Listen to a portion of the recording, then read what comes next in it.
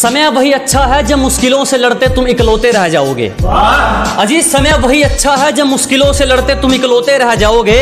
तुम्हें जीना चाहिए अपनी खातिर। लोगों के लिए जियोगे तो रोते रह जाओगे कि ज़िंदगी के हर मोड़ पर अहमियत है। पानी सिर्फ़ तेरा गला नहीं चाहता।